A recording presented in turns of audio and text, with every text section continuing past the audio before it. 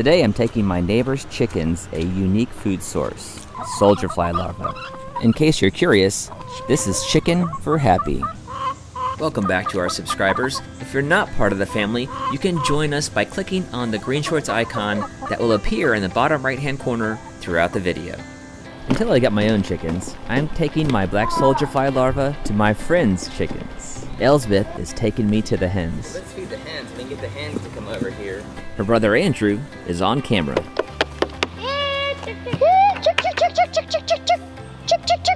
Can you get him to come over here? I don't know. Maybe if I start dumping out maggots, they'll come. So I'm at my friend's house and they have chickens and I've brought them some soldier fly larvae. And soldier fly larvae are an amazing food source for chickens because they're an amazing mix of protein and fat. So I've turned my kitchen scraps into a food source for these chickens and let's see how they like it.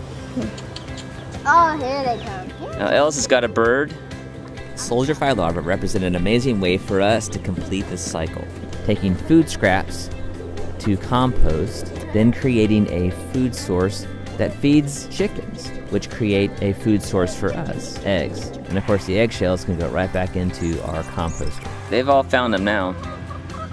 That one was a golden black one. See that one? I do. That one's mine. Okay. It's a great way to complete the cycle right in your own backyard, or in this case, Andrew and Elspeth's. Andrew, I've got a special bin in my backyard. And I put my food scraps in there. The flies come in, lay their eggs, they turn into larvae, and then they eat my food scraps, and they get big and fat, and then I capture them and feed them to your chickens. What do you think about that? There's like 10 trillion of those things. There may have been 10,000 or so in there, in that batch. We haven't eaten nearly all of them. It'll take them a while to eat all of these. Turning your food scraps into feed for chickens using soldier flies. That's just another easy way to be green.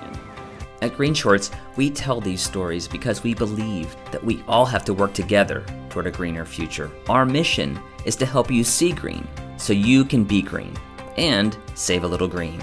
Thanks for watching. Please like and share this video to help spread the message. And if it's your first time here, please subscribe for new videos every Saturday.